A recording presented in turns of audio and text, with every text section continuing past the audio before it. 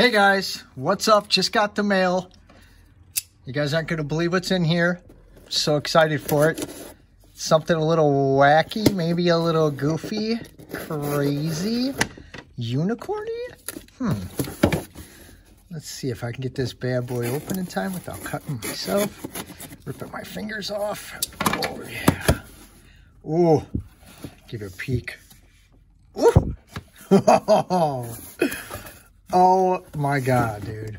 Look at this, guys. Holy crap. I didn't know the packaging was going to be this nice. Not a huge fan of Doom.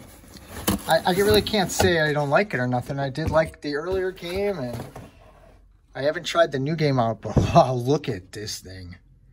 What do you say to that? Look at his tool, like a staff. He's got a little tail, of course. Got a really, really nice gun. Fortunately, I'm not sure if I'm taking this guy out of the box yet or not. But I mean, look at the detail they put into that. McFarlane's really kicking it, kicking it up. Wow, I'm kind of lost our words here.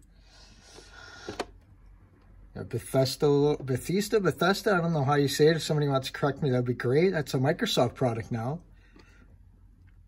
So I wonder if they're still going to allow them to make their toys or if they're going to go with a lesser company, which I think would be stupid. Doomslayer. This is known, oh, this is known as the Doomicorn. As you can see with the name on the bottom. It's got the wings that go for the back and everything that's in the package.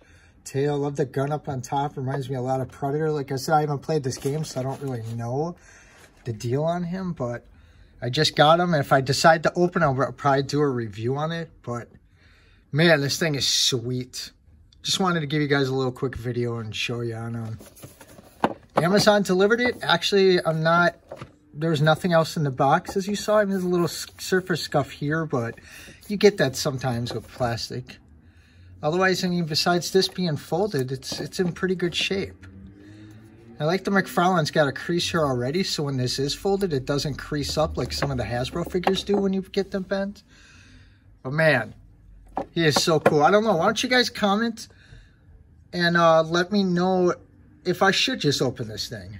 If I should rip him open or what I should do or what you would do. Also, like the video, subscribe. I'm going to be try to be doing a couple videos a day.